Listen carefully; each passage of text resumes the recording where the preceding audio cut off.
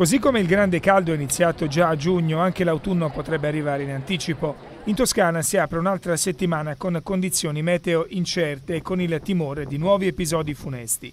A due settimane dal primo violento nubifragio, quello di Ferragosto nel Fiorentino, a leccarsi le ferite sono la Miata e il Valdarno Aretino che questo sabato hanno registrato diversi danni. Sul versante senese della montagna le strade si sono trasformate in torrenti dopo una bomba d'acqua che si è abbattuta su Abbadia San Salvatore e Castagnaio. Nell'Aretino invece qualche albero abbattuto dal vento a Caposelvi e piccoli allagamenti tra Vaccherece e San Giovanni Valdarno, dove ci sono stati minuti di allarmine per un fulmine che ha colpito e danneggiato un tubo del metano all'esterno di un'abitazione.